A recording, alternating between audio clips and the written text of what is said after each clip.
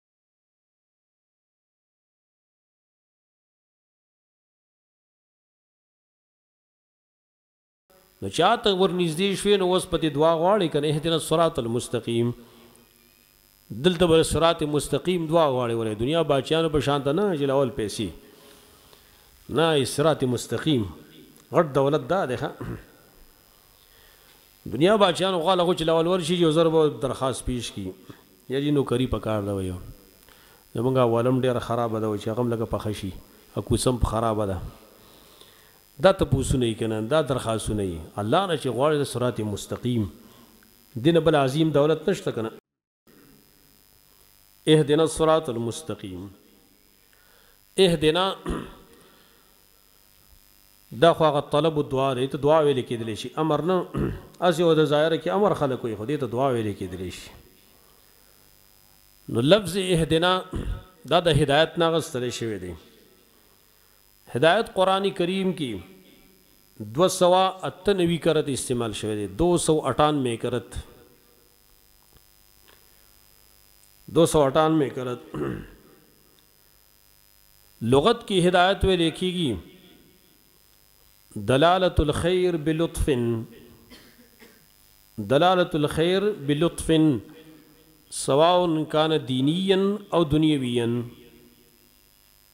دلالة الخير بلطف، لطف نرمۍ ته ویل کیدلی شي، دلالة الخير بلطف سواء کان دینيا او دنیويا، چاته خیر ښودل دي په نرمۍ باندې برابره خبره ده که دیني وي او که دنیوي، د دنیا یو کار چاته ښیې په نرمۍ باندې دې ته هم هدایت ویل کیږي، د دین کار چاته ښیې په نرمۍ باندې دې ته هم هدایت ویل کیدلی شي. بیا د دې استعمال قرآن کي په درې طریقو باندې راغلی دی. درې طریقو سره لفظ هدایت استعمالیږي. اول طریقه دا ده متعدی مفعول ثانی ته په واسطه د اله سره دویم مفعول ته متعدی وي په واسطه د اله باندې دلته بیا معنی یی ارعت الطریق لار ښودل چاته لار ښودل یو خو شرطازیب والا چې کوم دی نو هغه خپل تحقیق کړی دی یو د قرآن تحقیق دی ارعت الطریق معنا به چې په اله سره متعدی شي لکه سورة النحل 121 نمبر آیت کې راغلی یو سل یویش کې سورة النحل سورة انعام ستایس نمبر آیت کی ویشتم کی سورة انعام کی وهدیناهم الی صراط مستقیم وهدیناهم الی صراط مستقیم لفظ الی سره متعدی شی دلته معنی ده اراة الطریق لار ښودل چاته دویم طریقه دا ده متعدی وی دویم مفعول ته په واسطه د لام سره دویم مفعول ته متعدی دی او په واسطه د لام. سورة بقره دوه سوه تېره نمبر آیت کې دوه سوه دیارلسم دوه سوه تېره فهد الله الذين آمنوا لما اختلفوا فيه فهد الله الذين آمنوا لما اختلفوا لام دې لما اختلفوا فيه دلته بیا معنا سره اراءة الطريق مع الايصال الى المطلوب اراءة الطريق مع الايصال الى المطلوب لاره ښودل او د هغې سره مطلوب ته رسول او روانول پکې نه ولې ها لاره ښودل دي او مقصود ته رسول دي بس دا معناوي بيا.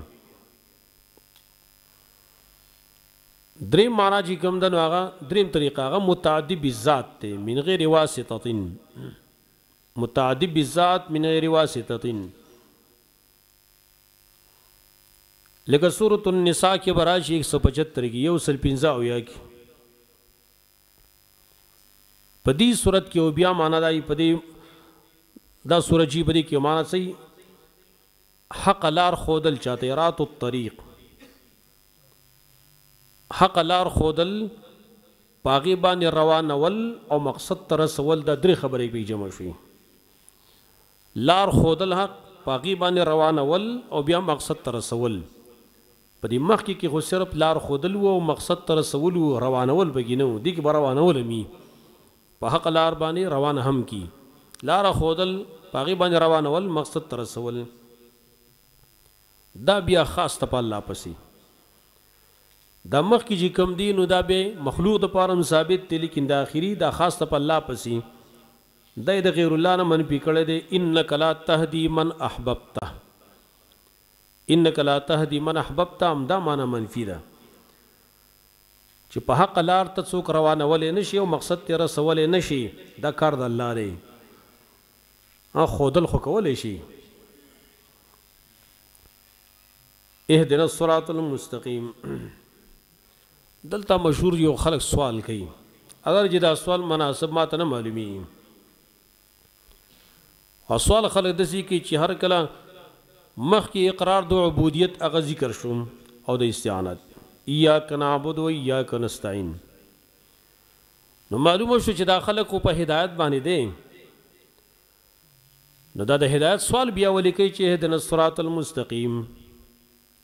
دې ته خو منطقیان تحصیل حاصل وایي کنه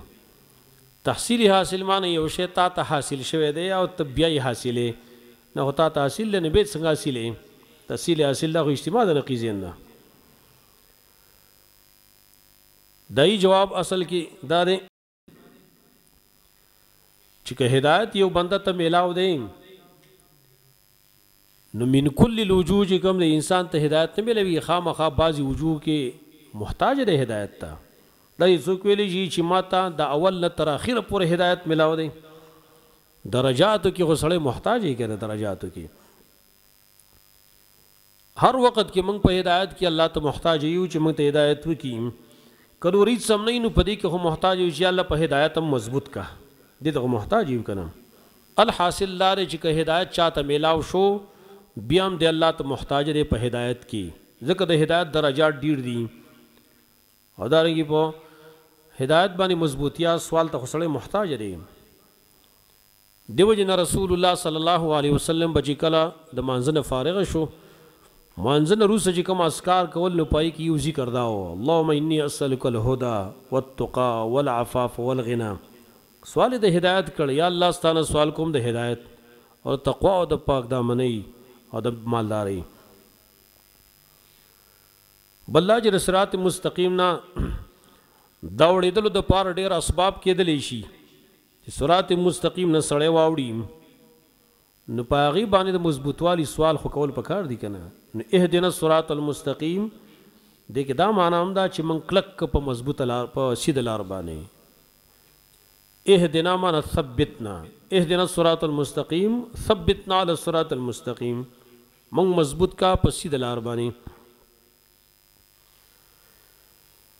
اوس دلته وګورئ قرآن کریم کې مراتب الهدایه ومعانیها فی القرآن عنوان ورکړي مراتب الهدایه ومعانیها فی القرآن د هدایت مرتبه او دغه معنی وګورئ قرآن کریم کې اوله مرتبه اوله معنا ده الهام زړه کې غورځول، الالهام والفطره، الهام او فطرت ته ویلی شي. سورة طه کې راځي پنځوسم نمبر آیت کې پچاس نمبر کې سورة طه الذي اعطى كل شيء خلقا ثم هدا الله هغه ذات دی چې ورکړی دی هر یو شي ته پیدایش د هغه ثم هدا بیا ته ښودنه کړې هر يو شی چې پيدا کړی دی نو بيا ورته ښودنه کړې ده معنی الهام يې ورته کړی دی ړک يې ورته غورځولې ده چې په دې طريقه باندې به ژوند تيری مثلا ماشوم دی ماشوم چې کله الله پيدا کی ماشوم چې د مور نه پيدا شي دي ماشوم له خپله مور په دي خوله کي سينه ورکوي هغه روي و دي ماشوم ته چا ښودنه کړي ده چي د مور په دي سينه کي ستا خوراک دي دا ورته الله ښودنه کړي ثم هدا دي ته ويل کيږي الهام او فطرت دويم مرتبه څه ده هدايت بالحواس الظاهره هدایت بالحواس الظاهره، ظاهري حواس په هغې باندې ښودنه کول، په سترګو باندې، په غوږونو باندې، په دې عقل باندې، په دې باندې موږ ته ښودنه کړې ده. سورة الاعلی کې راځي دریم نمبر آیت کې والذي قدر فهدا هغه ذات چي په اندازه کړی هر يو شي فهدانو بيا ورته ښودنه کړې په حواسو يې ورته هر څه ښودلي دي سورة الاعلي دريم نمبر آيت دريم مرتبه ده هدايت بالعقل په عقل باندې ښودنه کول خلکو ته په عقل باندې هر چا په عقل کې دی ښودلي د سيد لار ده دا غلط لار ده سورة البلد کې راځي لسم نمبر آيت کې سورة البلد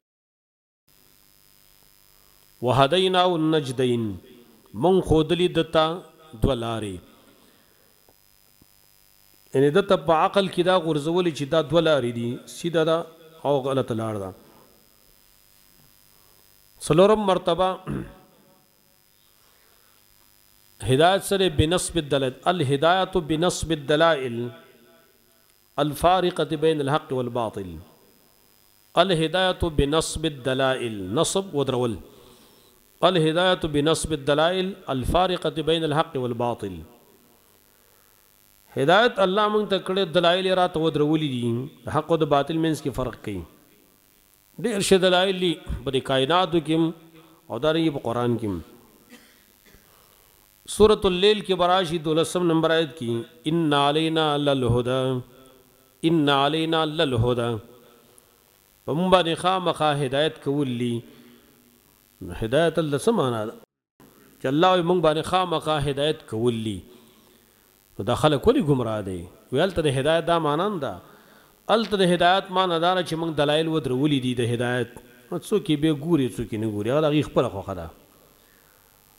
نو د هدایت دلته معنا ده نصب الدلائل، دلائل ودرول، دلائل پیش کول خلکو ته. پنځم مرتبه د هدایت ده ارسال الرسل او انزال الکتب، ارسال الرسل او انزال الکتب، الله پیغمبران را لیږلي او کتابونه یې نازل کړي.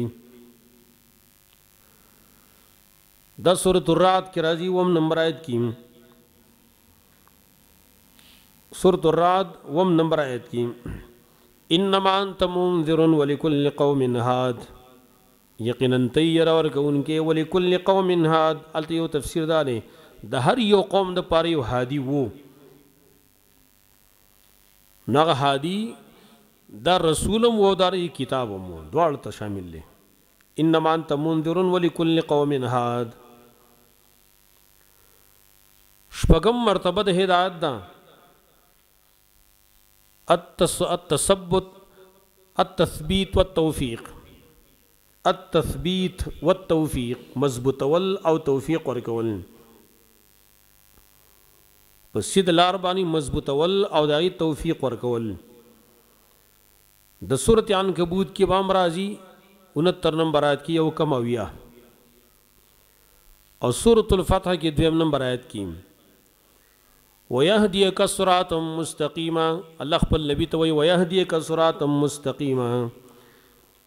مضبوط به کتاب پلار برابر باندې دلته يهديك معنا سره مضبوط اول تثبیت وم مرتبه د الوصول الى الجنه جنت تر سوال دام د هدایت و مرتبه ده او دا یو معنا ده سورت اعراف کې راځي درې څلوېښت کې تریالیس نمبر آیت کې درې څلوېښت وقالوا الحمد لله الذي هدانا لهذا وای بدا جنتیان الحمد لله الذي ټول صفتونه د کمال خاص الله لره دي. الذي هغه ذات هدانا لهذا چې مونږ يې راورسولو دې جنت ته، هدانا لهذا دا معنی، مونږ يې راورسولو دې جنت ته. نو اتم مرتبه هغه دې لين القلوب، لين القلوب واقشعرار الجلود من خشية الله. زړونه نرمېدل او دا څرمن په دې یخته ودرېدل د الله د یرې د وجې نه، مونږ چې ورته غونې وې غونې زیږ کېدل، زړه نرم شي په دې بدن باندې غونې ودرېږي د الله د یرې د وجې نه، دې ته مې هدایت ویلی دی. سورة الزمر تئیس نمبر آیت کې دریش کې هلته د مؤمنانو حال ذکر کړی دی. او د قرآن صفات یې ذکر کړي دي، تقشعر منه جلود الذین، چې د دې قرآن د وجې نه د مؤمنانو زړونه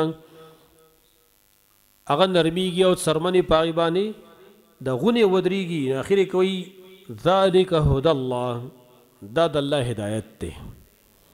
د زړه نرمېدل او د غونې ځیږ کېدل د قرآن د تلاوت د وجې نه او د الله د یرې د وجې نه دا هدایت دی، ذلک هدی الله، سورة الزمر، تئیس نمبر آیت.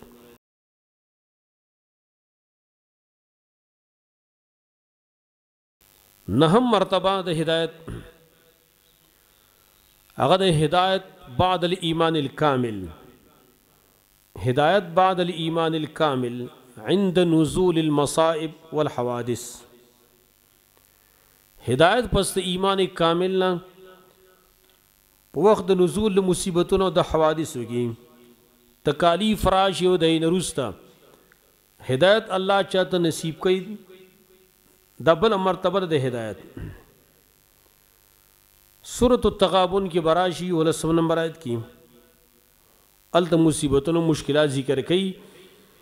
نو چې په دې باندې ته کله مضبوط شي الله به دې هدایت نصیب کړي هدایت څه دی ومن یؤمن بالله یهد قلبه ومن یؤمن بالله چا چې ایمان راړو په الله باندې یهد قلبه هدایت بو کی دا غزړه ته مزړه به مضبوط کی لسم مرتبه څه ده؟ هدایة اکتسبها العبد بمجاهدته هدایة اکتسبها العبد بمجاهدته هغه هدایت دی چې بنده حاصل کی په خپل کوشش سره کله به کوشش کې چې ځان له هدایت حاصل کی سورت عنکبوت کې راځي 69 نمبر آیت کې یو کم ویا کې والذین جاهدوا فینا لنهدینهم سبلنا هغه کسان چې دیو ځان کړولی زموږ په لاره کې، زموږ په رضا کې، لنهدینهم سبلنا خامخا موږ به وښیو دوی ته لارې زموږ، لارې د نجات زموږ، لنهدینهم دغه هدایت دی چې انسان ته حاصلیږي بالمجاهده دا مراتب د هدایت.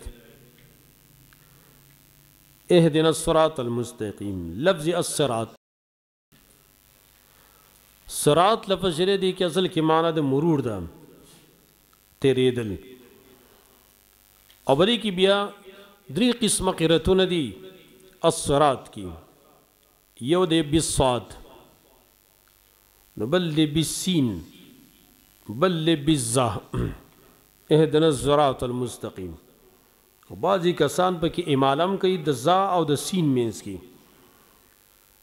ظا او سين کې اماله وکړي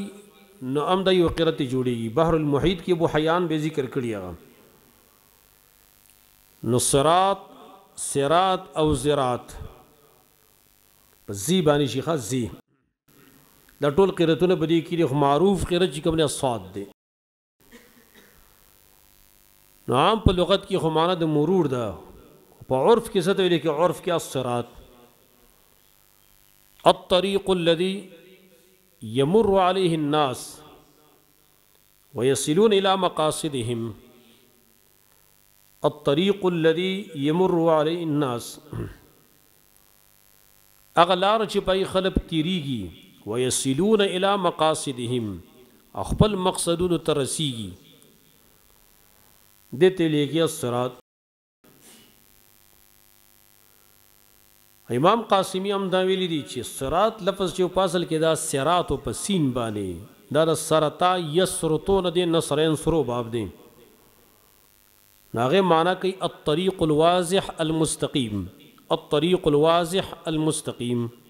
دا دی الصراط یو نفس لار یورې ښه هغه نه الصراط ویل کی الطريق الواضح المستقيم نوای به دا سین بدل شو په صاد باندې الصراط المستقيم المستقيم دا خو باب استفعال استقام يستقيم استقامه نو مستقیم اصل کی مستقومون وو دا واو چې کوم دی بیا بدل شو قانون تاسو بیا زرادې کې ویلې دی هغه دلته نشو ذکر کولی مستقیمون نو واو بدل شو په یا باندې مستقیمون دی جوړ شو نو معنی څه ده المستقیم معنی د المستوی من غیر افراط و تفریط المستوی من غیر افراط و تفریط برابر ته ویل کیږي چې افراط تفریط پکې نه وي نه پکې زیاتې نه پکې کمې ابن کثیر او ابن جریر دواړو ویلي دي مستقیم کم ته ویلي صراط مستقیم هو الطريق الذي لا اعوجاج فيه هو الطريق الذي لا اعوجاج فيه هغه لار ته ويل کيږي چې پکې کې کوږوالی نه وي بلکل سيده لار دی سم موټر وې دی په موټر وې کې بلا کله کوږوالی وي په دې کې کوږوالی موږوالی بلکل نه وي نو صراط مستقیم د دې مستاقات قران کریم کې وګورئ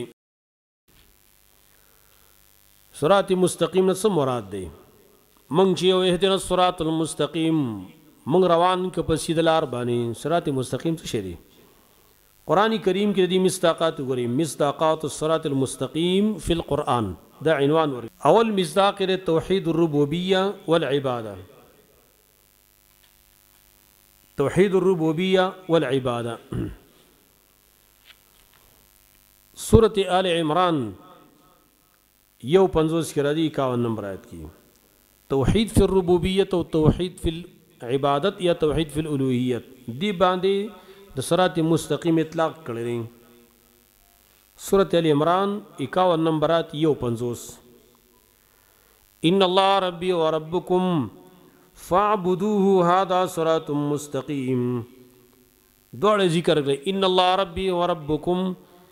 یقینا الله زما رب دی او ستاسو رب هم دی، دا توحید فی ربوبیت شو کنه، فاعبدوه دا توحید فی العبادت او دواړو باره کې څه وایي، هذا صراط مستقیم، دا سیده لار ده.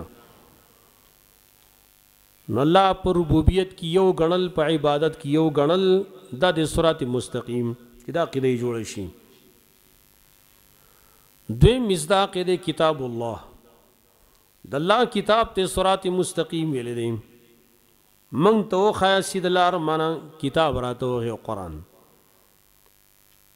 سورت انعام کې راځي ایک سو ترپن نمبر آیت کې او دارنګه ایک سو چبیس کې یو سل درې پنځوس یو سل شپږیش کې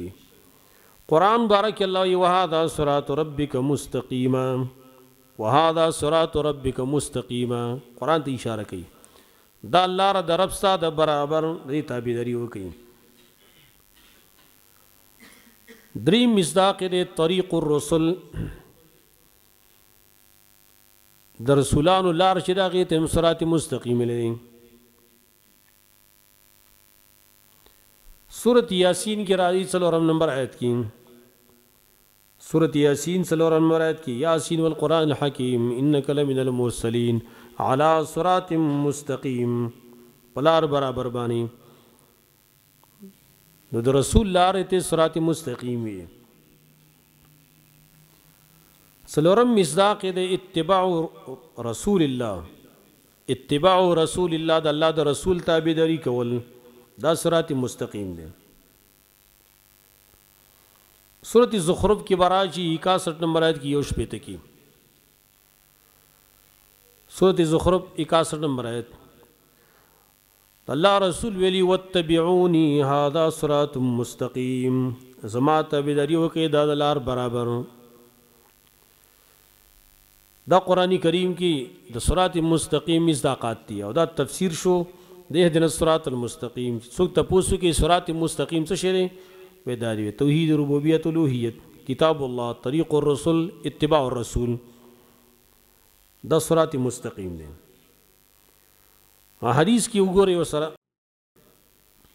حدیث کی هم راغلی دی امام ترمذی امام احمد حدیث نقل کړی دی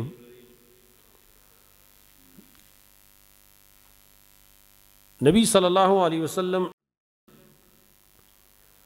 هغه صحابه کرامو تر صراط مستقیم مثال بیان کوم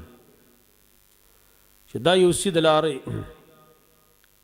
سی د یو لاره ده یو کولاو لاره ده یو روډ شان ته دی او د دې دواړو طرفون ته کوټی دي داسې کمرې شان ته دي په دې کمرو باندې پردې مراز وړندې دي د دې لارې په دې سر کې یو کس ناس دی او خلکو ته आवाज کوي چې سید په دې لار باندې راځي او کله چې په دا لار څوک راځي او دی دغه ته دې کوټې ته ور داخلېږي که نه او پرده درې کوي نو هلته پرې هغه اواز کوي، ويلک لا تلجه، هلاک شې مور داخلېږه دې ته. نو څوک چې په دې لاره باندې سي د ورسېد نو دغه هلاکتونه به بچ شي. د الله نبي وايي، دا صراط مستقيم اسلام دی او دا کوټې چې کوم دي نو دا محارم د الله دي. او دا کوم کس چې اواز ورته کوي دا داعي د کتاب او سنت دی د قرآن او سنت داعي دی په دې سر کې دی خلکو ته وایي سیده راځئ په دې لار باندې اخوا دې خوا کېږئ مه نو په حدیث کې مصداق ذکر کوي اسلام چې صراط مستقیم سره اسلام دا خو قرآن کې او حدیث کې دا مصداقات بیان شول، مفسرینو هم مصداقات بیان کړي دي او هغه هم د دې کتاب سنت نه مستنبط کړي دي. نو اوس وګورئ مصداقات الصراط المستقیم فی اقوال المفسرین. مفسرینو اقوال هم شته دی په دې باب کې چې صراط مستقیم څه ته ویلې کېدلی شي. اول قول له عبدالله ابن عباس هغه وایي صراط مستقیم دی کتاب الله. موږ ویل کنه مکه قران کې هم شته ده کنه کتاب الله دویم قول دا دی چې دین مراد دی دین اسلام دریم دی الدین الحق دا ګور تعبیرونه یو بل ته نږدې نږدې دي ها الدین الحق حق دین دا تفسیر مدارک ویلي نو څلورم قول ابن کثیر کړی دی او صراط مستقیم اتباع الکتاب والسنه د قرآن او سنت تابعداري کول دې ته صراط مستقیم ویلی شوی دی بل قول لیک عبدالله ابن مسعود ته منصوب دی عبدالله ابن مسعود فرمائی، صراط مستقیم څه دی؟ هو ما ترکنا علیه رسول الله صلی الله علیه وسلم هو ما ترکنا علیه رسول الله صلی الله علیه وسلم په کوم څه چې مونږ رسول الله صلی الله علیه وسلم پرې ښودلی وو هغه ته ویل کیږي صراط مستقیم. نبی لاړ رخصت شو کوم دین یې موږ ته پرېښودلی کوم طریقې یې پرېښودلي دقه دی صراط مستقیم.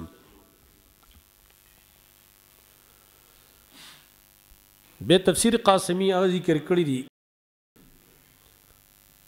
چې صراط مستقیم ویل کیږي الطریق الواضح ته اصل کې ویل کیږي الطریق الواضح ته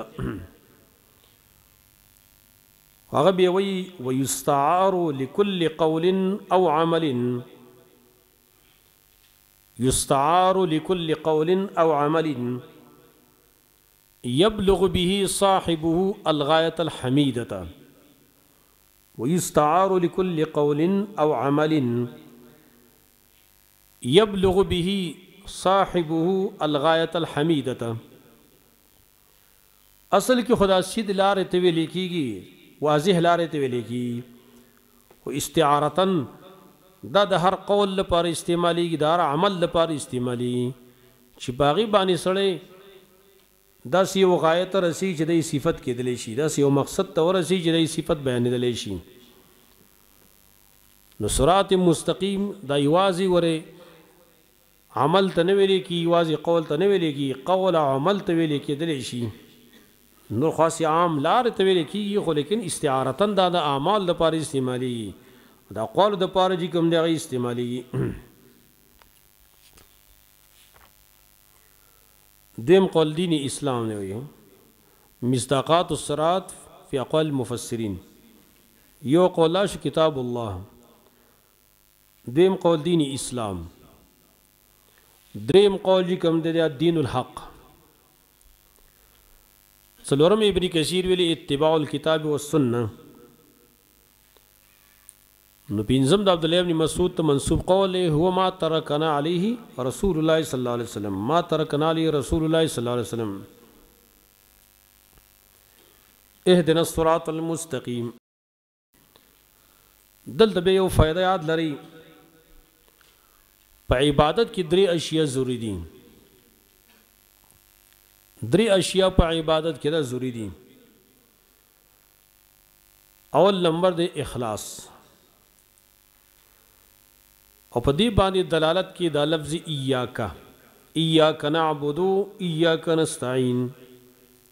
دا په اخلاص طاعت کوي چې خاص ستا بندګي کوم د بل چا نه کوم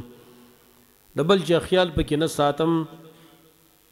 نو یو شو اخلاص دلالت په دې لفظ ایاکا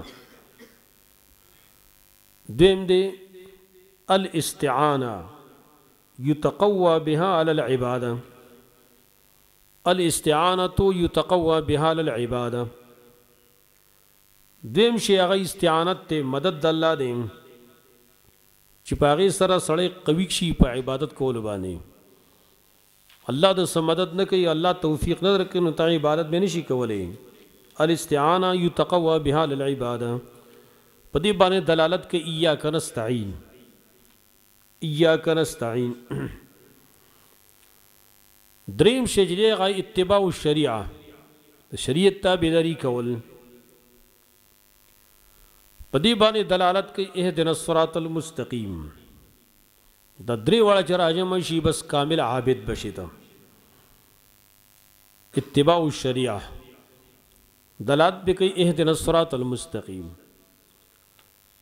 نو چې اخلاص د په کې و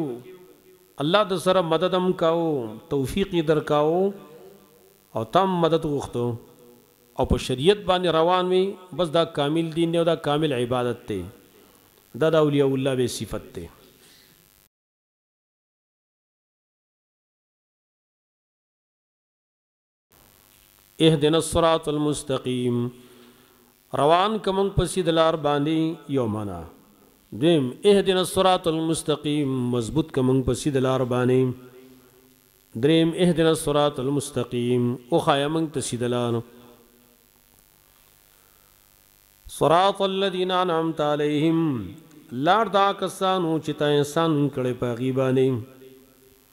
دې ته وسویل کیږي عطف بیان صراط الذین انعمت علیهم دا یا عطف بیان دی او یا بدل په بدل کل سره دا فائدہ په دې عطف بیان او بدل کې بیا څه ده عطف بیان او بدلی ولی ذکر کړی دی فائدہ بده کې دارا چې اصل کې په دې لاره کې دوه صفتونه ثابتېږي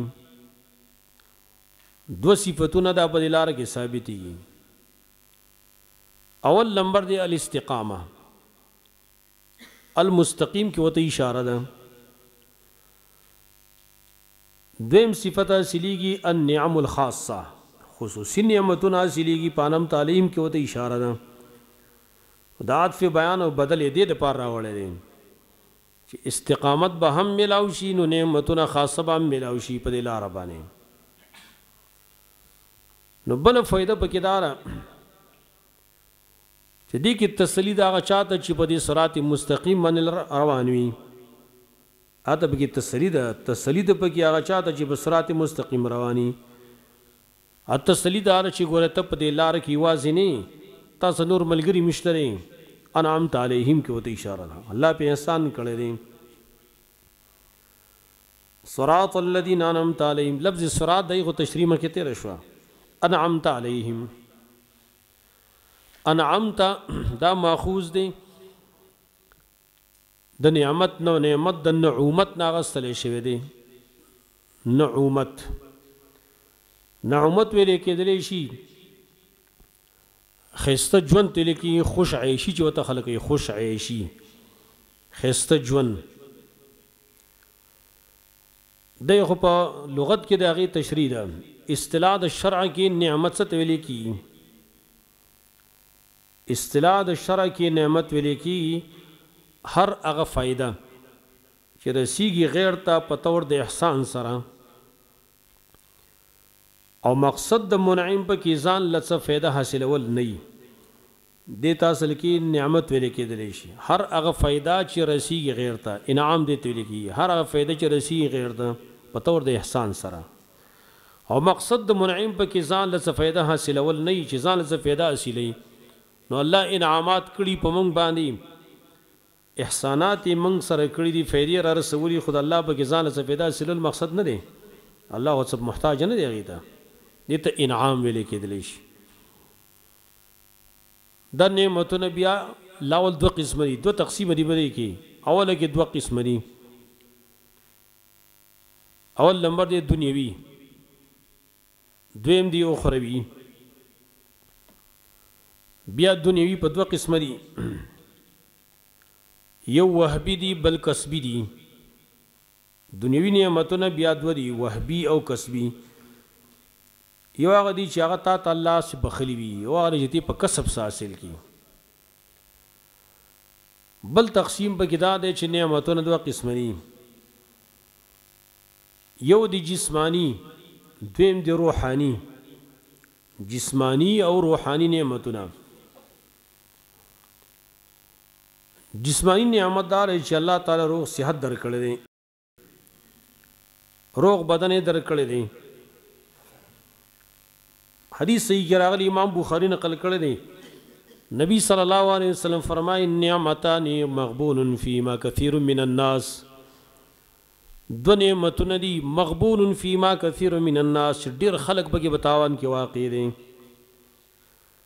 صحیح نه استعمالي هغه سره الصحت والفراغ یو صحت دی یو وزګارتیا ده روغ بدن الله درکړی دا د الله عظیم نعمت دی او دارنګي فراغت ته وزګارتیا وزګاری بسره دین کار وکنه دا سینه چې وزګاریږي او زر جب ته ګوتې کې فیسبوک کولاو کې وزګارې ځان له بل څه کار وکړه او ضرورت شی دی بس کله کله استعمالوه صحت او فراغت دیو جن مخکې مونږ ویلي وو که نه په ورځ د قیامت چی کله تپوس کیږی حدیث ابن حبان کی راغلی دی د نعمتونو باره کی چی الله تپوس کوي لاول به د جسمانی نعمت تپوس کوي الم نصحح جسمک ونرویک من الماء البارد موږ ستا بدن روغ نه پیدا کړی او موږ په یخو اوبو ته نه یې موړ کړی د دې روغ بدن باره کې الله تپوس کوي موږ چې روغ بدني نو بیا سرکشي کوو او چې کله بیماران شو نو بیا جومات ته رامنډې کوو نو هغه کې وتلی عبادت ته پرېوتلی خوند دا کوي چې ته روغ بدن لري او همیشه د پاره په عبادت کې ته مصروف یې دا مزه کوي اصل کې چې بیمار چې یا بوډا شي بیا خو په خپل بل کار دی نشته چې دغه عبادت هم نه کوي نو څه کوي مزه خدا کوي چې خواهشات هم دي روغ بدن هم دی مزی او چرشی هم هلته خلکو ته میلاوی یی او ته په عبادت کی مصروف یی که حدیث کی هم ځکه راغلی نبی صلی الله علیه وسلم فرمایی کنه وه قسمه خلک دی نو زه به د عرش د سوری د لاندی کینوم الله وایی سبعة یظلهم الله فی ظله وه قسمه خلک دی الله به د عرش سوری د لاندی کینی نو په هغی کی یو دا دی کنه وشاب نشأ فی عبادت الله هغه ځوان دی چې د الله په بندګۍ کې دی غټ شي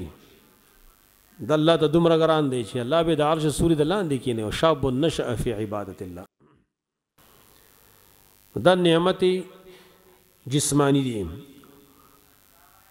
او دا یې نعمت روحانی هغه دا چې کتاب او سنت دی معرفت د الله صحیح عقیده د الله مونږ ته نصیب کړی دی اوس کفارو باندې جسمانی نعمتونه خو الله کړی کفارو باندې خو روحاني نعمتونه په هغوی الله نه دي کړي، روحاني نعمتونه دا په دې مؤمنانو الله کړي دي. دلته انعمت علیهم کې مراد روحاني نعمتونه دي ګورئ، جسماني نعمتونه مراد نه دي، هغه خو په کفارو باندې هم کړي دي، د کفارو هم ښه روغ بدنونه دي، ښه سره سپین اوسي، ښه روغ بدن یې دی، مزې او چرچې یې کوي، نه دغه مراد نه دي، روحاني نعمتونه مراد دي. صراط الذین لار د هغه کسانو انعمت علیهم چې تا احسان کړی په هغوی باندې. اوس دا څوک دي؟ د انعمت علیهم د دې مصداق قرآن کریم کې وګورئ چې دا څوک دي؟ د سورة النساء کې انهتر نمبر آیت کې یو کم اویا کې الله ذکر کړي دي او دغه آیات بیا د دې آیت تشریح ده.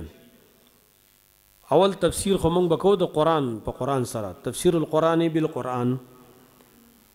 لار د هغه کسانو چې تا احسان کړی په هغوی باندې دا څوک دي سورة النساء کې وایي ومن یطع الله والرسول فاولئک مع الذین انعم الله علیهم چا چې تابعداري وکړه د الله او د رسول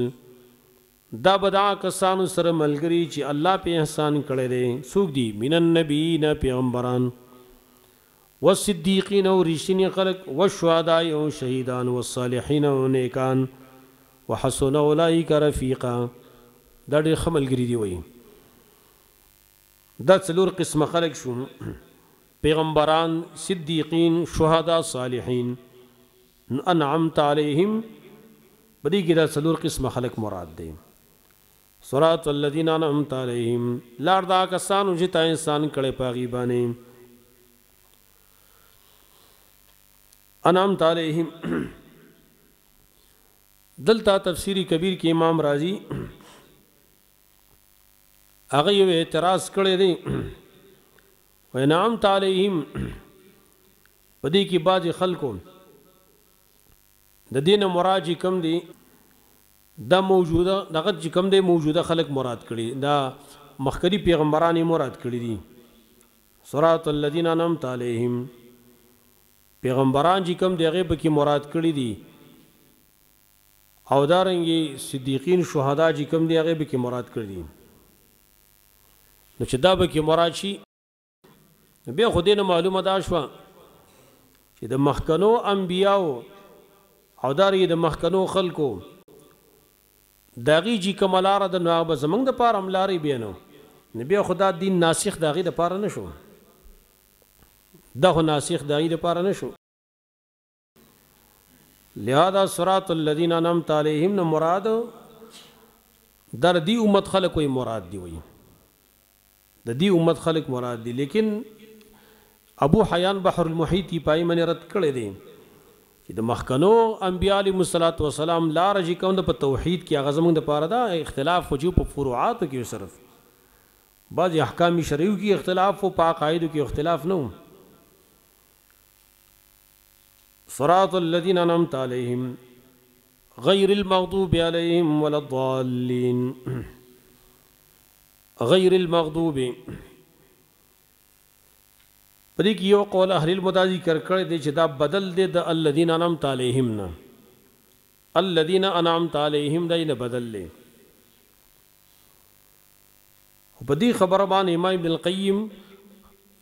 خپل تفسیر کی بدائع التفسیر کی اړې سخت رد کړی دی چې دا صحیح نه ده. امام ابن القیم دغه تفسیر دی بدائع التفسیر خو دا هغه خپله ګوره لیکلی نه دی ښه دا خپله لیکلی د لاس تفسیر هغه نشته دی دا د هغه اقوال یې را جمع کړي دي چونکه د هغه ډیر کتابونه دي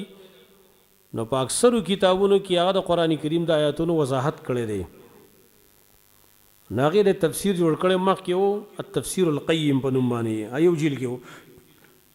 اوس پنځه جیل کې یو تفسیر چاپ دی بدایع التفسیر د امام ابن القیم کتابونه را جمع کړی دی ښه تفسیر دی دغه د شیخ الاسلام خپل تفسیر چې کوم دی د لاسو لیکلی هغه نشته دی خلکو له را جمع کړی دی دقایق التفسیر هغه یو جیل کې چاپ مخکې اوس هم چاپ دی په بل تفسیر چا ولیکه په التفسیر الکبیر په نوم باندې التفسیر الکبیر دا اووه جلده کې دی د شیخ الاسلام اوس یو بل چا چاپ کړی دی اوس یو نوی بل چاپ شو دا د هغه د کتابونو نه را جمع کړي صرف مختلف کتابونه نه نو دقه رنګ د امام القیم تفسیر چې دی تفسیر بدایع التفسیر یا تفسیر القیم دا د خپل تفسیر نه دی خو چا ول را جمع کړی نو په هغې کې بیا په دې قول باندې سخرت کړی دی چې دا بدل دا نمت علیهم نه نه دی ډیر وجوهات هغه ذکر کړي هغه به تاسو وګورئ په دې کې دویم قول دا دی چې دا صفت موضحه دی د مخ کې د پاره دا صفت موضحه دی غیر المغضوب علیهم چې دوی غیر دي دا خلکو نه چې باغي غضب کړی شوی دی دا غي نه غیر دي بیا دلته سوال دا راځي چې دا لفظ غیر المغضوب وی نو لا به ویل وی کنه لل مغضوب علیهم ولا الضالین نورسته هغه ولا الضالین سره مناسبت وی نه المغضوب سره لفظ غیر ول راوړل دی غیر المغضوب علیهم ولا الضالین د سی ویل لل مغضوب علیهم ولا الضالین دای جواب علما دا کړي چې لفظ لا دا په مطلق نفي دلالت کوي او هر چې لفظ غیرو دی نو په دې کې د نفي سره سره مغایرت هم وي نفي هم وکړه او دارنګه مغایرت هم ثابت کوم چې دا انعمت علیهم دا منعم علیهم دا ګوره د دی مغدوب علیهم نه غیر هم دی او د هغی سره څه تعلق هم نشته وی بلکل نفی د ایت وکړه چی غضب تی منفی هم دی او دارنګه د هغی نه مغایر هم دی ځکه یې غیر المغضوب علیهم وی بیا دلته یو بل سوال راځي چې مخکې صيغه د معلومه ذکر کړه، انعمت عليهم، او دې مغضوب عليهم کې صيغه مجهوله ذکر کړه، مخکې انعمت عليهم صيغه معلومه ده کنه، او دلته مغضوب عليهم صيغه د اسم مفعول ده کنه، دا خو د فعل مجهول نه جوړيږي کنه، دا يې مجهول صيغه راوړه، دې کې څه نکته ده؟ جواب دا دی، نکته په دې کې دا ده اصل کې. افعال د احسان جی کوم وی او د خیر کارونه د هغی نسبت الله ته صراحتن کی دا ادب دی صراحتن به الله ته نسبت کی د ښیګړی کارونه د احسان کارونه د دی نسبت الله ته کی صراحتن نو هلته انعمت علیهم صیغه معلومه ځکه راوړه په خلاف د عقوبت او د سزا باندې چې دی نسبت هغه په صيغه مجهول سره کیږي دا آداب دي په شريعت کي نو مغضوب عليهم يې ځکه ويلي دي. دا يو جواب دی.